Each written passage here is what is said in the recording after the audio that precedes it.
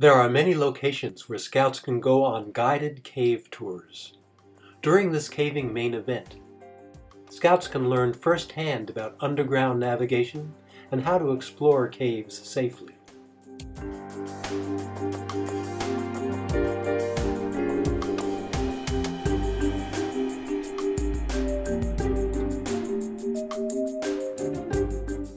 For the adventurous, there can be squeezes and belly crawls through twisting corridors. This kind of caving consists of what can be termed full body hiking.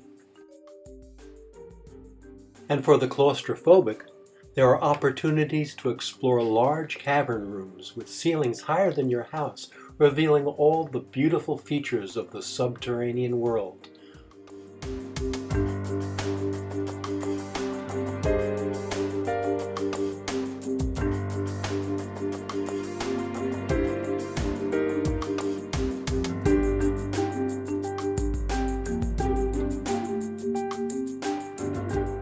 An outing where caving is the theme can consist of anything from a simple caving tour to a memorable underground overnight adventure.